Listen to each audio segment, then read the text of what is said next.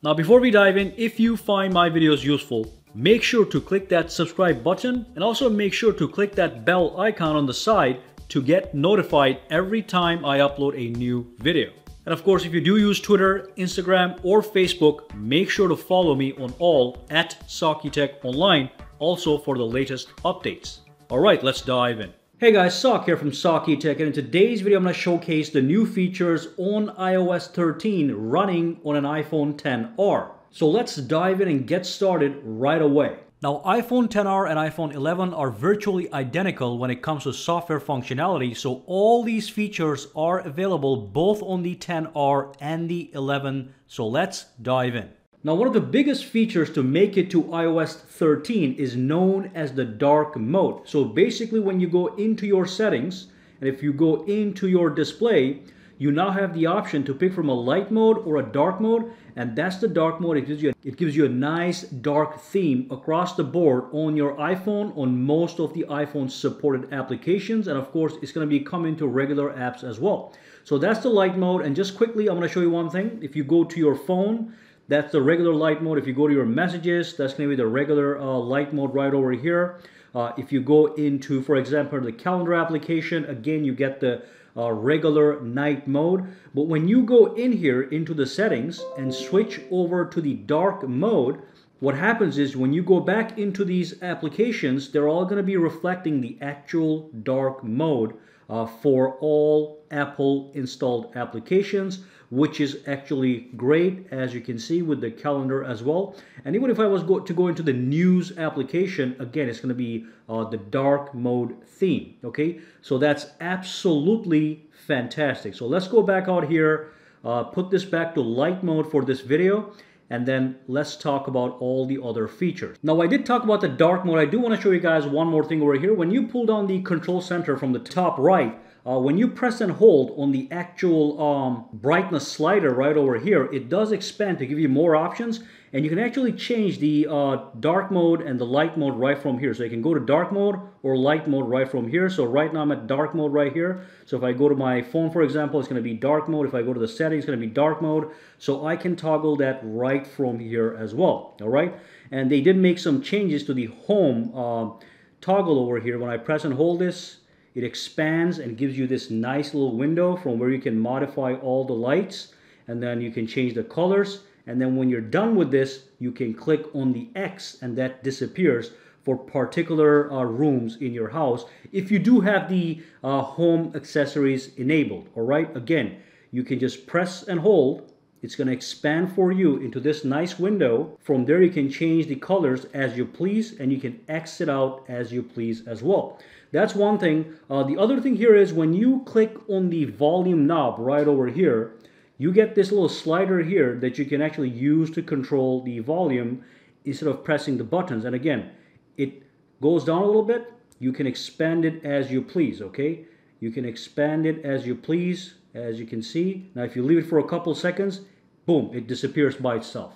Now one really cool feature that they brought to the table was if you go into your Photos application and if you were to pull up any photo, all right, uh, when you tap on edit that photo, you get new ways to actually edit that stuff. So at the bottom, uh, you get these enhancements tools over here and you then you have a dialer that you can move back and forth uh, to change the settings on a particular photo. You can go through exposure, you can go through brilliance, you can go through highlights, and you can also modify everything as you please with laser precision. I do like the new interface here. That looks great. If you tap on this one, uh, you can change the way the photo looks and all that good stuff as you can see okay so all these things are new in your uh, photos application they give you some enhanced editing tools now the good news is let me just cancel this discard changes uh, the good news is when you go into the actual video so let me just pull up a video right over here here's a video right over here uh, if I click edit on this video,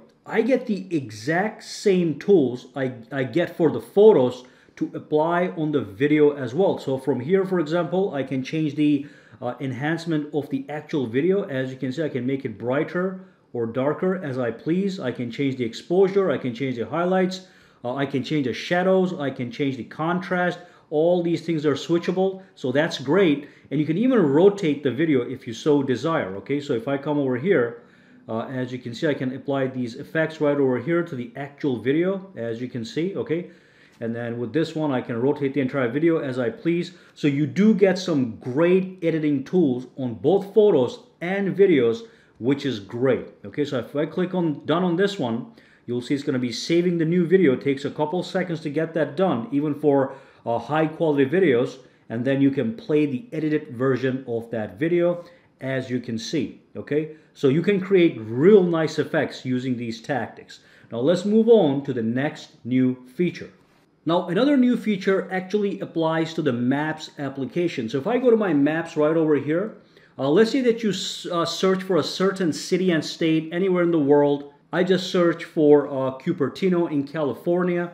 And basically, if you look at the bottom over here, you'll see a little um, preview image and it's to say look around. So this is the equivalent of the street view uh, on Google Maps. So if we tap on this one, you actually get a live, not a live, a real uh, image of the that area that you're actually looking at. Okay, so it's just like the um, the street view on Google Maps. You can even tap on the screen; it'll take you forward, as you can see in real time. It's really nice and really intuitive. You just tap and go exactly where you want to go. Okay, and again, you can look around uh, as you please all over the place, even even on the street, in the sky, at the houses. So that's fantastic. Now this feature might not be available in every city and state uh, across the world, but they're working on making that happen for you guys. All right. So that's another feature, the look around feature in Maps. And I'll also let you know the maps have been enhanced for iOS 13 with even more attention to detail to the actual maps uh, interface. All right, so let's move on to the next stuff.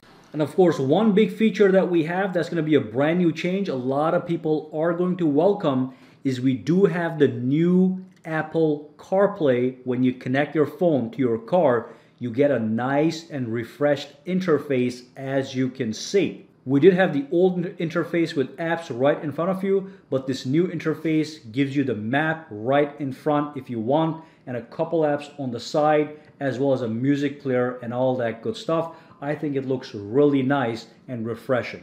So that's the new Apple Car Play. The next thing I'm going to talk about has to do with Memoji. Now, it's not something I use a lot, but I do know that a lot of people use these things. So when you go into your text messages, and if you go into uh, any into your uh, Animojis or Memojis.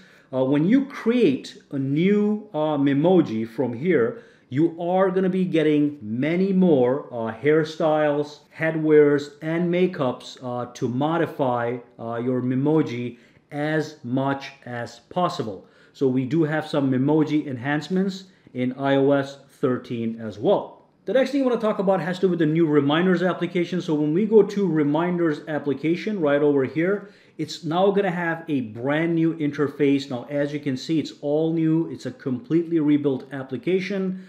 Uh, you have the option to quickly create new reminders, including the fact that Siri is going to intelligently suggest creating reminders based on context, perhaps when you're talking to somebody in the messages uh, application. And of course, then you do have the easy organizing feature. So if I click on continue, you'll see that it looks a little bit different and you have the my list right here. You get today, you get all, you get scheduled reminders, you get flag reminders.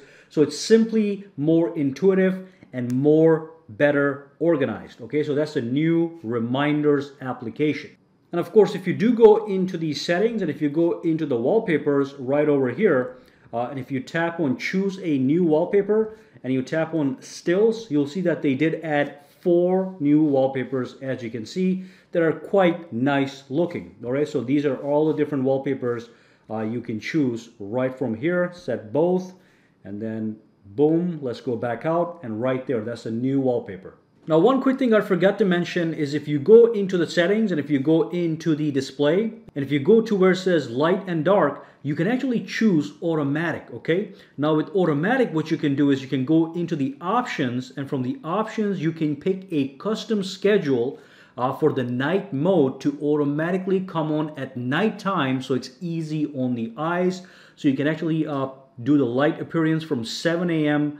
Uh, and then dark appearance actually starts at 10 p.m. and then when it hits the 7 a.m. again it's going to go right back to light in the morning time or you can set it to automatic from sunset to sunrise and as soon as I choose that because right now it's 9:31 p.m. it goes to dark mode automatically so you have that option to, to do the automatic night mode let's go back to light go back out and real quick one more application that got a change was the find my mobile application. So when I launch it now it's going to tell you right away find my friends and find my iPhone are now combined into a single application.